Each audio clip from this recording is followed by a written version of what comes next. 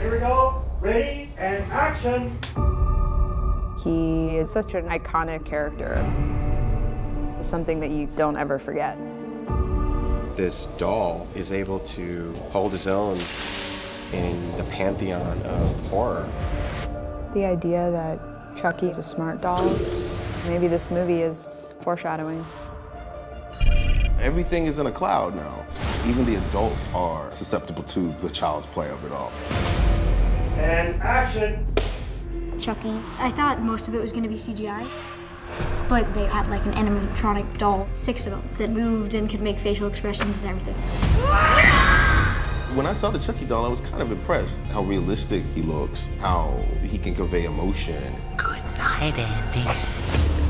And a big part of getting Chucky right was having animatronics be a lot of the times that we see Chucky. See Chucky come alive has been very rewarding.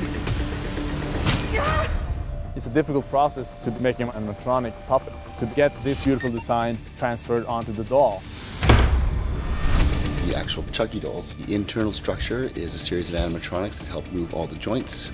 It has a plastic exoskeleton we put over top of the animatronics.